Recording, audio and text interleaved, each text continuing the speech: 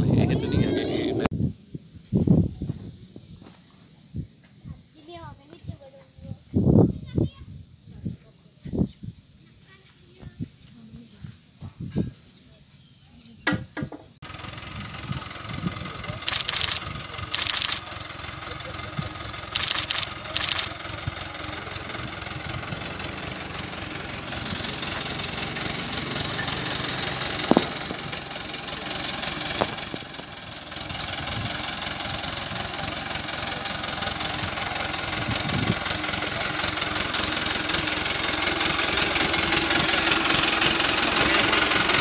ਹਾਂਜੀ ਕੀ ਨਾਮ ਹੈ ਜੀ ਤੁਹਾਡਾ?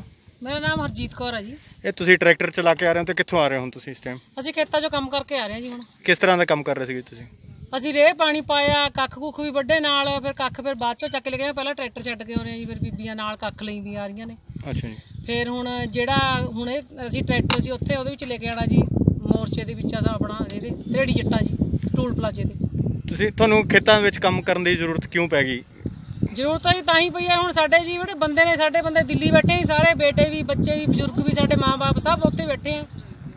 ਤਾਂ ਸਾਨੂੰ ਕੰਮ ਕਰਨ ਦੀ ਜ਼ਰੂਰਤ ਪੈ ਗਈ ਅਸੀਂ ਆਪਣੇ ਖੇਤਾਂ ਦੀ ਆਪ ਰਾਖੀ ਕਰਨੀ ਹੈ ਜੀ ਹੁਣ। ਠੀਕ ਹੈ ਤੁਸੀਂ ਕੀ ਸਮਝਦੇ ਹੋ ਜਿਹੜੇ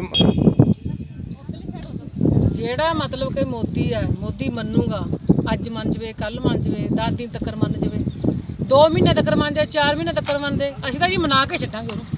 ਕਿਸਾਨਾਂ ਨਾਲ ਤੁਹਾਡਾ ਪੂਰਾ ਤੁਸੀਂ ਸਰਾਫਾ ਸਾਡਾ ਪੂਰਾ ਸੰਯੋਗ ਹੈ ਜੀ ਕਿਸਾਨਾਂ ਨਾਲ ਪੂਰਾ ਸੰਯੋਗ ਹੈ ਜੀ ਸਾਡਾ। ਹਰਜੀਤ ਕੌਰ। ਕਿਹੜਾ ਪਿੰਡ ਹੈ? ਦੌਣ ਕਲਾਂ। ਜਿਹੜਾ ਹੈਗਾ।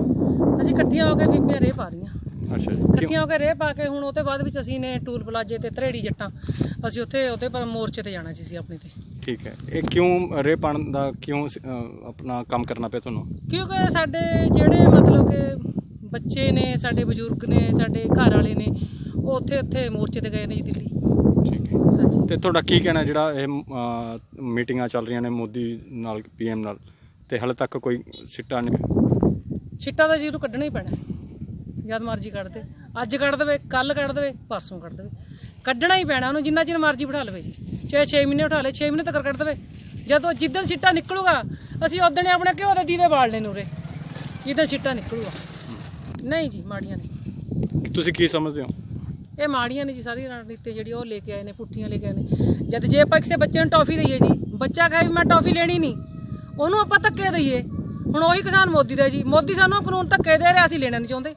ਕਿਉਂ ਦੇ ਰਿਹਾ ਕਿਸਾਨਾਂ ਨੂੰ? ਕਿਸਾਨ ਕਹਿੰਦੇ ਵੀ ਅਸੀਂ ਲੈਣਾ ਹੀ ਨਹੀਂ, ਅਸੀਂ ਟੌਫੀ ਖਾਣੀ ਹੋ ਨਹੀਂ। ਕਿਉਂ ਟੌਫੀ ਦੇ ਰਹੇ ਹੋ ਸਾਨੂੰ? ਰਾਜਨੀਤੀ ਜੀ ਮਾੜੀ ਹੋ ਰਹੀ ਹੈ ਬਲਕਿ ਜਿਹੜੀ ਇਹ ਰਾਜ ਆਪਣੀ ਦਿੱਲੀ ਦੀ, ਪਹਿਲਾਂ ਵੀ ਆਪਣੀ ਰਾਜਧਾਨੀ ਸੀ, ਹੁਣ ਵੀ ਆਪਣੀ ਰਾਜਧਾਨੀ ਹੈ। ਇਹ ਪਟੇ ਪਰ ਦਿੱਤੀ ਵੀ ਸੀ ਜੀ। 2010 ਦੇ ਵਿੱਚ ਇਹ ਪਟਾ ਖਤਮ ਹੋ ਗਿਆ ਤਾਂ ਜੀ। ਇਹ ਪਟਾ ਖਤਮ ਹੋ ਗਿਆ ਤਾਂ ਜੀ। ਉਸ ਤੋਂ ਬਾਅਦ ਵਿੱਚ ਦਿੱਲੀ ਆਜ਼ਾਦ ਤੀ। ਇਹ ਸਾਨੂੰ ਉਹਦੇ ਬਾ- ਵਿੱਚ ਜਾਣ ਤੇ ਵੀ ਟੋਏ ਪੱਟਦੇ ਨੇ, ਖੱਟੜ ਨੇ ਟੋਏ ਪੱਟੇ, ਪਰ ਫਿਰ ਵੀ ਸਾਡੇ ਪੰਜਾਬੀਆਂ ਨੇ ਇੱਕ ਹੱਥ ਨਾਲ ਚੱਕ ਚੱਕ ਕੇ ਪਰਾਂ ਮਾਰੇ। ਟੋਏ ਤਾਂ ਦੋ ਦੋ ਮੁੱਠੀ ਨਾਲ ਭਰ ਜਾਂਦੇ ਨੇ, ਇੰਨੀ ਜਨਤਾ ਜੀ ਉੱਥੇ। ਉਹ ਤਾਂ ਉਂਚਲਾ ਉਂਚਲਾ ਪਾਉਗੀ ਤਾਂ ਟੋਏ ਭਰ ਜਾਣਗੇ ਜੀ, ਸੜਕ ਪੱਟੀ ਵੀ ਜੀ।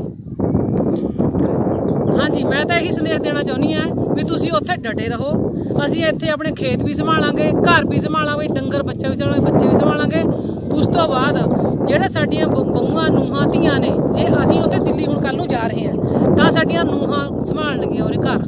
ਸਾਡੇ ਖੇਤ ਵੀ ਸੰਭਾਲਣਗੀਆਂ ਉਹਨਾਂ ਨੂੰ ਵੀ ਸਾਰਾ ਖੇਤੀ ਦਾ ਪਤਾ, ਜਿਹੜੀਆਂ ਬੀਬੀਆਂ ਨਹੀਂ ਜਾ ਰਹੀਆਂ, ਉਹ ਆ ਕੇ ਜੇ ਮੈਂ ਜਾਊਂਗੀ ਤਾਂ ਮੇਰੇ ਖੇਤ ਵਿੱਚ ਆ ਕੇ ਕੰਮ ਕਰਨਗੀਆਂ, ਮੇਰੇ ਕੱਖ ਵੱਢਣਗੀਆਂ। ਜੇ ਮੈਂ ਜਾਊਂਗੀ, ਜੇ ਉਹ ਜਾਣਗੀਆਂ ਤਾਂ ਉਹਨਾਂ ਦੇ ਖੇਤਾਂ 'ਚ ਮੈਂ ਕਰੂੰਗੀ। ਵਿਚਾਰਧਾਰਾ ਤਾਂ ਬਾਈ ਪਹਿਲਾਂ ਹੀ ਹੁੰਦੀ ਆ, ਤਕਰੀਬਨ ਜਦ ਹੁਣ ਲਾ ਲਓ ਜੀ, ਪਹਿਲਾਂ ਚਲੋ ਆਪਣੇ ਬੰਦੇ ਕਰਦੇ ਤੇ, ਜਦ ਹੁਣ ਬੰ- ਬੰਦੇ ਹੀ ਚਲੇ ਗਏ, ਫਿਰ ਅਸੀਂ ਨੇ ਆਪਣੀ ਕਮੇਟੀ ਬਣਾਈ, ਕਮੇਟੀ ਬਣਾ ਕੇ ਅਸੀਂ ਸਾਰੀਆਂ ਨੇ ਉਹ ਕਰੀਆਂ ਆਪਣੀਆਂ ਗੱਲਾਂ ਬਾਤਾਂ, ਵੀ ਆਪਾਂ ਇੱਕ ਜੁੱਟ ਹੋ ਕੇ ਵੀ ਬੀਬੀਆਂ ਚੱਲੀਏ ਜਦ ਆਪਣੇ ਬੰਦੇ ਹੈ ਨਹੀਂ ਜੇ ਕਿਸੇ ਨੂੰ ਵੀ ਤੰਗੀ ਪੈ ਰਹੀ ਹੈ ਕੋਈ ਵੀ ਹੈ ਤਾਂ ਅਸੀਂ 5 ਮਿੰਟ 2 ਮਿੰਟ ਵਿੱਚ ਉਹਨਾਂ ਦੇ ਘਰ ਵੀ ਹਾਜ਼ਰ ਹੁੰਦੇ ਆ ਜੇ ਉਹਨਾਂ ਨੂੰ ਕੋਈ ਵੀ ਤੰਗੀ ਆ ਕੋਈ ਬਿਮਾਰ ਠਮਾਰ ਹੈ ਅਸੀਂ ਖੁਦ ਆਪ ਦਵਾਈ ਦਵਾ ਕੇ ਲਿਆਉਂਦੇ ਆ ਜੇ ਮੇਰਾ ਕੋਈ ਬਿਮਾਰ ਠਮਾਰ ਹੈ ਤਾਂ ਉਹ ਬੀਬੀਆਂ ਨੂੰ ਫੋਨ ਕਰਦੇ ਆ ਜਿਹੜਾ ਬੰਦਾ ਹੁੰਦਾ ਕੋਈ ਵੀ ਗੱਡੀ ਲੈ ਕੇ ਆਉਂਦਾ ਹੈ, ਤਾਂ ਉਹਨਾਂ ਨੂੰ ਲੈ ਕੇ ਜਾਂਦਾ ਜੀ। ਇਹ ਸੰਘਰਸ਼ ਤੁਹਾਡਾ ਹਾਂਜੀ ਜਾਰੀ ਰਹੂਗਾ ਜੀ ਇਹ ਸਾਡਾ ਸੰਘਰਸ਼। ਨਾਮ ਹੈ ਜੀ ਤੁਹਾਡਾ? ਮੇਰਾ ਨਾਮ ਅਮਨਦੀਪ ਕੌਰ ਹੈ। ਮੈਂ ਪਿੰਡ ਦੌਣ ਕਲਾਂ ਤੋਂ ਪਟਿਆਲਾ ਤੋਂ 10 ਕਿਲੋਮੀਟਰ ਦੂਰੀ ਤੇ ਇਹ ਮੇਰਾ ਪਿੰਡ ਸਥਿਤ ਹੈ। ਠੀਕ ਹੈ ਇਹ ਜਿਹੜੇ ਖੇਤਾਂ 'ਚ ਕੰਮ ਕਰ ਰਹੇ ਆ ਅੱਜ ਅਹ, ਤੁਸੀਂ ਕਿਸ ਸੰਦਰਭ ਦੇ ਵਿੱਚ ਲੱਗੇ ਹੋਏ ਹੋ? ਇਹ ਜੋ ਮੋਦੀ ਜੀ ਨੇ ਤਿੰਨ ਆਰਡੀਨੈਂਸ ਜਾਰੀ ਕੀਤੇ ਆ ਉਹਨਾਂ ਨੂੰ ਰੱਦ ਕਰਾਉਣ ਦੇ ਚੱਕਰ ਦੇ ਵਿੱਚ ਜਿਹੜੇ ਸਾਡੇ ਭਾਈ ਵੀਰ ਬਾਪ ਦਿੱਲੀ ਸੰਘਰਸ਼ ਦੇ ਵਿੱਚ ਬੈਠੇ ਆ ਉਹਨਾਂ ਦੀ ਗੈਰ ਮੌਜੂਦਗੀ ਦੇ ਵਿੱਚ ਅਸੀਂ ਅੱਜ ਅ, ਖੇਤਾਂ ਦੇ ਵਿੱਚ ਕੰਮ ਕਰ ਰਹੇ ਆ। ਪਾਣੀ ਵੀ ਲਾ ਰਹੇ ਸੀਗੇ ਪਹਿਲਾਂ 2 ਦਿਨ ਪਹਿਲਾਂ ਪਾਣੀ ਦੀ ਵਾਰੀ ਸੀ। ਵਾਰੀ ਦੇ ਨਾਲ ਹਰ ਇੱਕ ਘਰ ਦਾ ਕੰਮ ਕੀਤਾ ਜਾ ਰਿਹਾ। ਰੇ ਪਾ ਰਹੇ ਆ ਥੋੜੇ ਦਿਨਾਂ ਬਾਅਦ ਸਪਰੇਅ ਦੀ ਵਾਰੀ ਆਊਗੀ ਉਹ ਵੀ ਕਰਾਂਗੇ। ਆਪਣੇ ਜਿਹੜੇ ਡੰਗਰ ਬੱਚੇ ਆ ਉਹਨਾਂ ਦੇ ਵੀ ਕੱਖਾਂ ਨੂੰ ਅਸੀਂ ਲੈ ਕੇ ਜਾਂਦੇ ਆ ਉਹਨਾਂ ਦਾ ਵੀ ਧਿਆਨ ਰੱਖ ਰਹੇ ਆ ਟਾਈਮ ਟੂ ਟਾਈਮ ਘਰਾਂ ਦੇ ਵਿੱਚ ਵੀ ਕੰਮ ਕਰ ਰਹੇ ਆ ਤੇ ਖੇਤਾਂ ਦੇ ਵਿੱਚ ਵੀ ਕੰਮ ਕਰ ਰਹੇ ਆ ਚਿੰਤਾ ਵਾਲੀ ਕੋਈ ਗੱਲ ਨਹੀਂ ਹੈ। ਤੇ ਕੀ ਸਮਝਦੇ ਤੁਸੀਂ? ਉਹਨਾਂ ਨੂੰ ਇਹ ਲੱਗਦਾ ਕਿ ਸ਼ਾਇਦ ਮੈਂ ਦਬ ਜੂੰਗਾ। ਉਹ ਆਪਣੀ ਈਗੋ ਦਿਖਾ ਰਿਹਾ। ਕਿਸਾਨਾਂ ਦੇ ਅੱਗੇ। ਪਰ ਉਹਨੂੰ ਇਹ ਨਹੀਂ ਪਤਾ ਵੀ ਇਤਿਹਾਸ ਫਰੋਲ ਕੇ ਦੇਖ ਲੈ ਵੀ ਕੀ ਚੀਜ਼ ਹੁੰਦੇ ਆ। ਜਿਹੜੇ ਕਿਸਾਨ ਹੁੰਦੇ ਆ ਜਾਂ ਅਸੀਂ ਲੋਕ ਜਿਹੜੇ ਸੰਘਰਸ਼ ਕਰਦੇ ਆ, ਉਹ ਕੀ ਹੁੰਦੇ ਆ, ਉਹਨੂੰ ਇਸ ਚੀਜ਼ ਦਾ ਅੰਦਾਜ਼ਾ ਵੀ ਨਹੀਂ ਹੈਗਾ। ਸ਼ਾਇਦ ਉਹਨੂੰ ਲੱਗਦਾ ਸੀ ਕਿ ਮੈਂ ਹਾਂ ਇਦਾਂ ਕਰ ਦੂੰਗਾ ਤੇ ਕਿਸਾਨ ਲੋਕ ਮੰਨ ਲੈਣਗੇ। ਕਿਉਂਕਿ ਜੋ ਪਿੱਛੋਂ ਇੰਨੇ ਸਾਲਾਂ ਤੋਂ ਨਹੀਂ ਇਹ ਹੋਇਆ, ਹੁਣ ਵੀ ਨਹੀਂ ਹੋਣਾ ਚਾਹੀਦਾ। ਹੈਗਾ ਕਿ ਤਾਂ ਕਰ ਰਹੇ?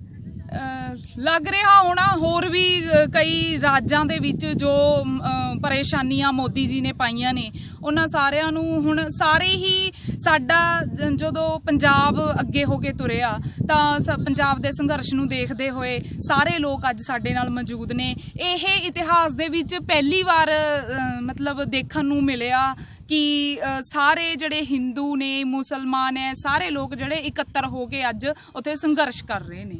ਮਤਲਬ J and K Jammu and Kashmir ਦੇ ਵਿੱਚ ਜਿਹੜੀ ਧਾਰਾ ਸੀ, ਮੈਨੂੰ ਲੱਗਦਾ ਕਿ ਉਹ ਵੀ ਲੋਕ ਇਕੱਠੇ ਹੋ ਕੇ ਹੁਣ ਆਪਣਾ ਜੋ ਉਹਨਾਂ ਨੂੰ ਪਰੇਸ਼ਾਨ ਕੀਤਾ ਮੋਦੀ ਜੀ ਨੇ, ਉਹ ਵੀ ਆਪਣਾ ਨਿਪਟਾਉਣਗੇ ਇਸ ਚੀਜ਼ ਨੂੰ।